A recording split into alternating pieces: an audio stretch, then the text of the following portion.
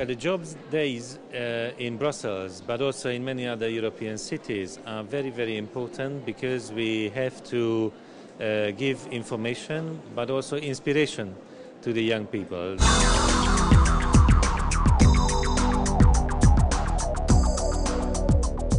The Europe 2020, which was adopted last year, set a very ambitious target about employment for the European countries to reach 75% employment rate, uh, while this rate is uh, just below 69 currently. And there are a few countries which really have much uh, lower. And uh, this is a big ambition, but I believe it's also realistic if the member states keep themselves to a timetable and to an agenda which can deliver this. The agenda was also put forward uh, on the EU level in the form of a flagship initiative of the EU, which is called the Agenda for New Skills and Jobs.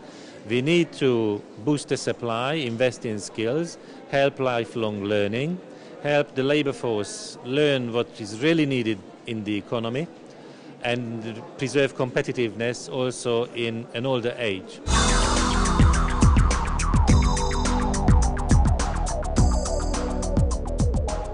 The European countries, the European societies experience the demographic change, uh, the increase in longevity. We live longer, but we also live longer in a more healthy condition than before. Uh, but the pension systems did not uh, really uh, keep uh, you know, the, the, steps which uh, were necessary to respond to this demographic change. And now this has to be done in one wave practically in all member states.